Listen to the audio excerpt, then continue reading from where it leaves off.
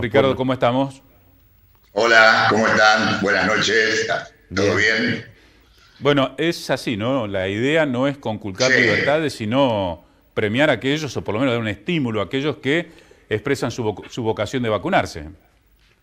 Eh, es cierto, es cierto. Eh, pero Guillermo también decía una gran verdad. Yo en algunos medios he recibido algunos mensajes que, que esto puede ser discriminatorio, pero nosotros lo, que, lo primero que planteamos es que no negamos ningún tipo de libertad ni restringimos ninguna, ninguna libertad. Por ahí lo de Macron es más duro, yo lo he leído a través de los medios, eh, él prohíbe el ingreso en determinados lugares y nosotros lo que trabajamos es sobre la base del estímulo, del incentivo, eh, tanto para el sector privado como para eh, el sector público, con beneficios que puede dar el gobierno provincial. Y ese, ese estímulo en el caso del sector privado está dado por los, los aforos. Hoy hay una determinada, un determinado porcentaje en algún restaurante, en el cine, en algún teatro, supongamos el 30%, donde puede ir cualquiera, vacunado o no vacunado. Y lo que plantea la ley es tener la posibilidad de que si en ese lugar ingresan solamente personas vacunadas, el aforo puede ser mayor. Eso puede ser el doble, puede ampliarse el horario de atención.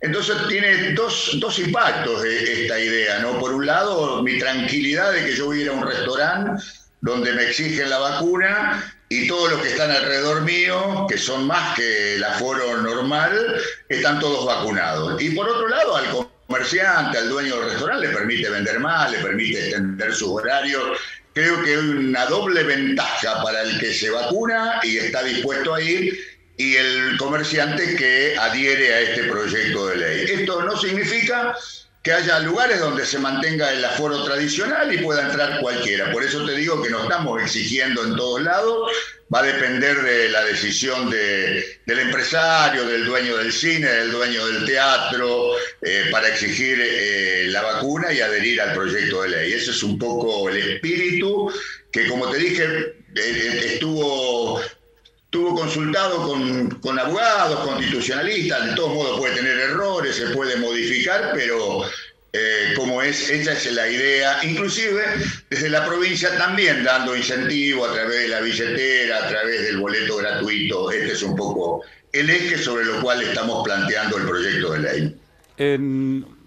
complejizando un poco el análisis, Ricardo, y en función de lo que estaba señalando, ¿qué pasa si tomándose de ese proyecto que eh, en un futuro hipotéticamente podría llegar a ser ley, algún dueño de restaurante dice, mire, yo no quiero que entren aquellos que no están vacunados. La ley me, establece estímulos.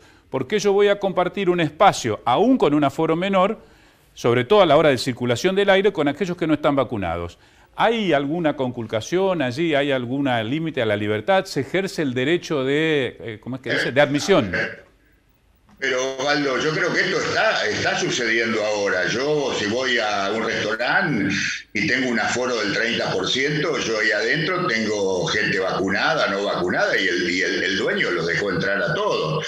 Yo con, este proyecto yo tengo la tranquilidad. A ver, voy a dar un ejemplo. Eh, si voy a un cine y el dueño del cine o voy al centro cultural, la provincia exige eh, entrar con, el certificado de la vacuna y con eso tener el 60% de aforo en vez del 30%, yo tengo la tranquilidad que todos los que están al lado mío están vacunados, todos los que están presenciando la película me dan a mí la tranquilidad de la vacuna. Quizás me expresé mal, digo, eh, si van a convivir ah. un sector de, como era antes, fumadores, no fumadores, acá vacunados, no vacunados, alguien puede llegar a decir, mire, yo quiero que todos estén vacunados, que no haya no vacunados en, Sí, sí, lo puede decir, pero ojo, eh, eso también es una, decisión del empresario, puede, puede generar la pérdida de clientes. Eh, la ley prevé una adhesión del empresario, de los sectores, inclusive una adhesión de los municipios y comunas, porque alguien me preguntó hoy, bueno, está bien, ¿cómo controlamos esto?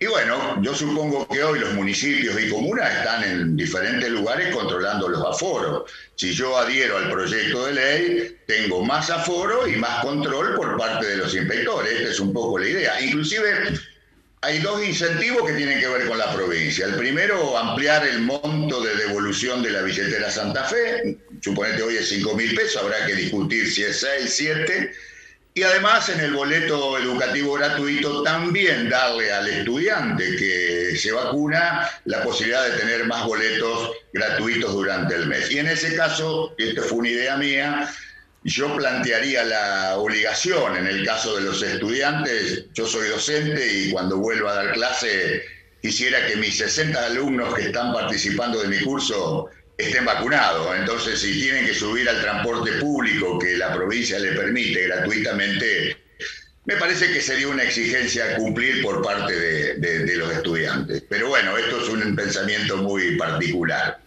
Cuando presentaste el, proyecto, Ricardo, eh, yo sé, la expectativa es que se trate. En este contexto electoral, y ya nos metemos en lo electoral, eh, la legislatura tendrá su tiempo para decir, oh, este tipo justo presenta esto, ahora que estamos en campaña, tenemos que salir a recorrer el territorio, eh, hay poco tiempo para sesionar.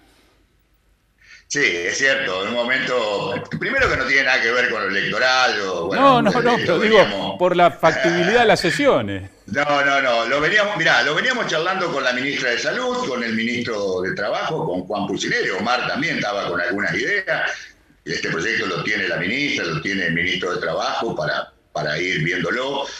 Mira, eh, yo creo que teniendo el espíritu del proyecto no es muy complejo. Yo sé que vamos a tener dificultades en términos de sesiones. Este proyecto se va a empezar a trabajar esta semana o la que viene en la Comisión de Salud.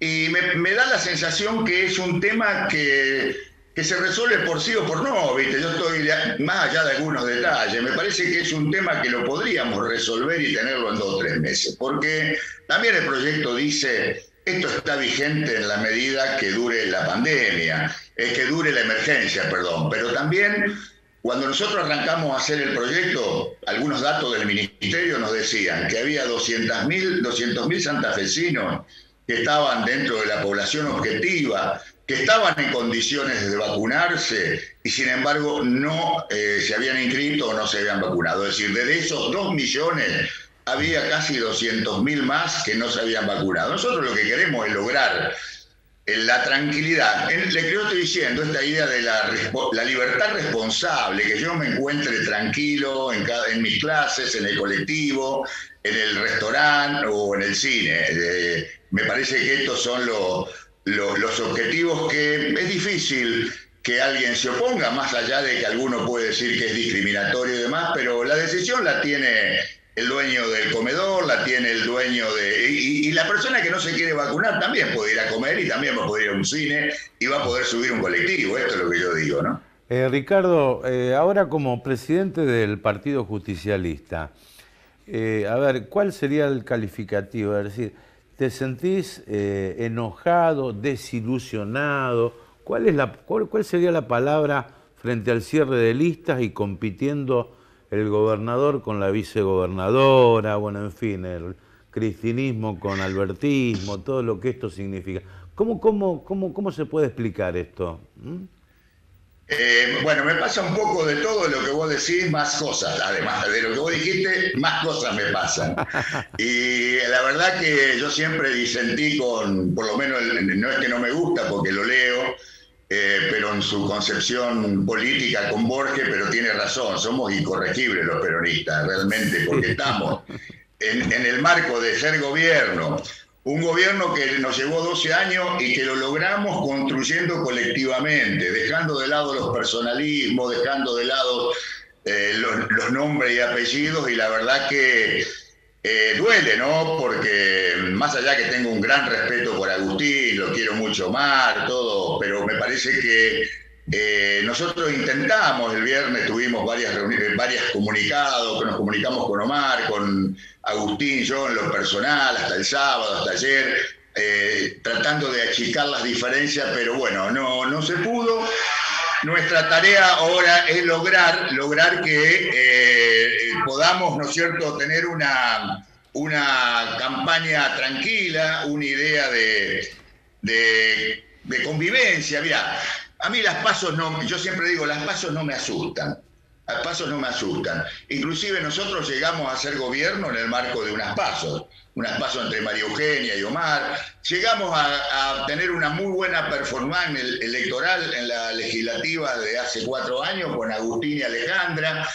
¿Y pero qué logramos? Que esas pasos fuesen respetuosas, pero además, al día siguiente de la elección, logramos sentarnos en una mesa. Bueno, el partido, a pesar de que no logró la unidad, a mí la unidad no, no, no, solo implica lista única, no me asustan las pasos, me asusta la convivencia política de las listas en términos de campaña. Y eso es lo que vamos a intentar, esta vez es más difícil, eh, tratar de resolver con cada uno de los espacios que están compitiendo, que, te digo, desde el punto de vista eh, doctrinario, de proyecto político y demás, no tienen diferencia. Los dos están bancando el gobierno nacional, creo que los dos tienen mucho que ver con lo provincial. Sin embargo, las diferencias pasaron en algunas cosas donde los peronistas por ahí, yo por lo menos creí que habíamos aprendido y era por ahí la construcción individual y no colectiva. Pero bueno, vamos a poner esfuerzo para superarlo, ¿no? Ricardo, muchas gracias por estos minutos con nosotros, muy amable. ¿eh? ¿Mm? Por favor, te mando, le mando un gran saludo y que tenga buen programa. Gracias. Gracias, eh, gracias.